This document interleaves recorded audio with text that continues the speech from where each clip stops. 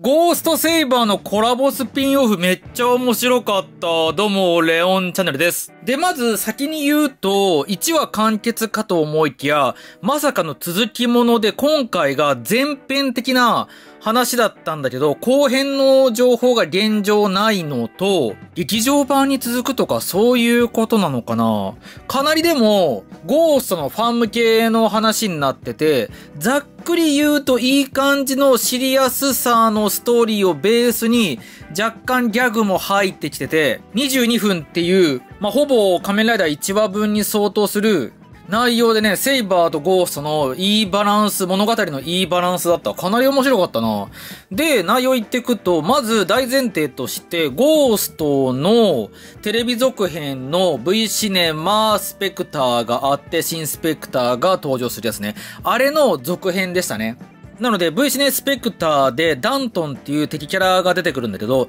そのダントンの思想を継ぐダントンの後継者3人が冒頭でカノンちゃんを拉致してて、で、そこでダントの歌を歌いながら、カノンちゃんを洗脳してたっぽいんですよね。で、リオンに会いたいだろうとか言って、囁きかけるんだけど、リオンっていうのが、誠兄ちゃんの本名。これは V シネスペクターでわかるんだけど、そういうところも含めていきなり結構ファン向けに、脚本自体もゴーストの福田さんがやってますから、結構ファン向けに振ってるなと思って。V シネスペクター大好きな僕としては、お入りから続編感プンプンすると思って。で、そのダントンの後継者3人が人間を改造する究極生命体を作るっていう目的をダントンの意志を引き継いでやろうとしてて、で、それがガンマ世界だともうアランがいるからできないって言って現実世界でやろうとして、その手始めになぜか洗脳したカノンちゃんに誠兄ちゃんを探させるところから始まるんだけど、あ、でもあれか、誠兄ちゃんは究極生命体の数少ない成功例だから、それで欲しがってる感じなのかな。まあでもそれを言ったらカノンちゃんも一応人工生命体の究極生命体の成功例なんだけど一度死んでアイコンの力によって復活してるから価値がないっていう風にダントンには言われてましたね。洗脳したカノンちゃんが探しに行くんだけど誠兄ちゃんを。でそれを見つめるフードの謎の男がいてそれの正体が今回は分かんなかった。で、お兄ちゃんを探して、カノンちゃんがさまよってたら、デザストが、世界観がね、セイバーとコラボしてるから、デザストが人間じゃないやつの匂いだとか言って、で、近づいてって、で、お兄ちゃんを探してるのって言ったら、気に入ったぜ。俺がお前のお兄ちゃんになってるとか言って、わけわかんないこと言って、で、そこにトーマが現れて、ちょっとバトルがありつつ、一方、大天空寺では、アランから、ゴーストガジェットを使って、カノンが行方不明になったから探してくれっていう電話がタケルの元にあって、で、それ、電話をさ、持ってくるのがジャビルなんだけど、ジャビルがもう完全おなり、おなり度100%で、すごい良かったおなりジャビル。で、タケルが速攻で、ダントンの後継者たちのアジトに乗り込んで、早と思って。で、そこで究極生命体を作るっていう話が出てくるんだけど、それで、タケルが V シネの時のクロエを思い出して、お、ちゃんとクロエと、まあ、クロエとタケルは戦ったから、ちゃんとクロエのことも回収するんだと思って、そういうところも、すごい感動した。タケルとバトルになるんだけど、そこで敵がガンマスペリオルに変身したりとか、で、その後にタケルと、カノンちゃんとデザストがみんな合流して、さらに乱戦に持ち込まれるんだけど、そこでさ、タケルは仮面ライダーにこう体制があるから、君も仮面ライダーなんだねとか言って、割とトーマが仮面ライダーなのをすんなり受け入れて、で、しかも神山トーマだとか言って紹介したら、あ、ロストメモリーの作者みたいな、実は、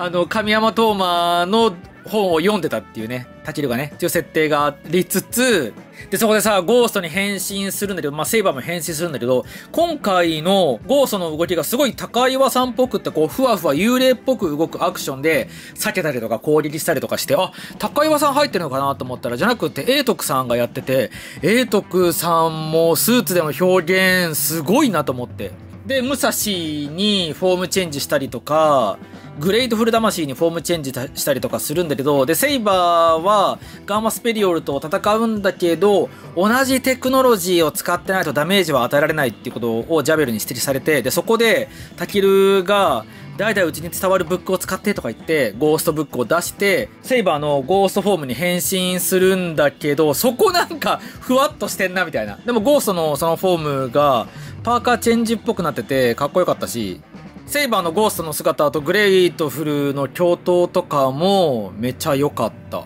ていうかね、アクションパートさすが坂本監督って感じで、見応え相当ありましたね。ちょっとした劇場版じゃんみたいな迫力でしたよ。で、敵の3人のうちの1人を撃破するんだけど、そこでまだ洗脳が解ききれてない、カノンちゃんを回収しつつ、あ、そうだ、あとカノンちゃんのスメアクションシーンもあって、そこのアクションもすごかった。あとはジャベルがもう完全に人間化してて変身できないのに間違って変身しようとしたりとか、軍だりを呼ぼうとしたりとか、あの辺の癖が抜けない感じも良かったな。さすが軍だりおじさんって当時言われてましたからね。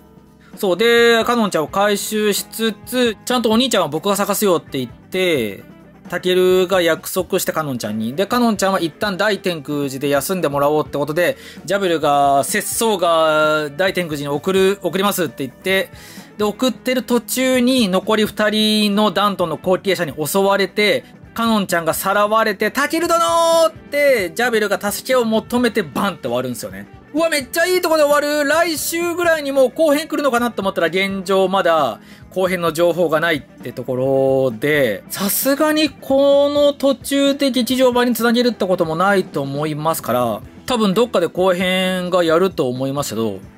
でもなんか来週また新たな情報解禁があるってことで、そういうのでわかるのかな。まあ、とりあえずそんな感じで、結構ファーム系に全振りしつつもしっかりと、ゴーストとセイバーがいいバランスで絡んでて、本当にプチ劇場版的な、かなり面白い内容になってましたから、ゴーストファンの人でも、ファンじゃない人でも、セーバーだけを好きっていう人でも全然楽しめる内容になってましたから、非常によくできてましたね。こんなクオリティが高いものが、実質無料で、まあ、TTFC の月額は必要ですけど、実質ね、追加、追加料金なしで見られるなんてすごいいいなっていうふうに思いました。これはもう手放しに本当に、いや、めっちゃ面白かったですよって言える作品になってましたね。満足度高かった。な分、後編早く見たいなって感じ。あとは、グレイトフル魂の変身音とかも久々に聞きたくなりましたね。以上、仮面ライダーゴーストセイバーの前編の感想動画でした。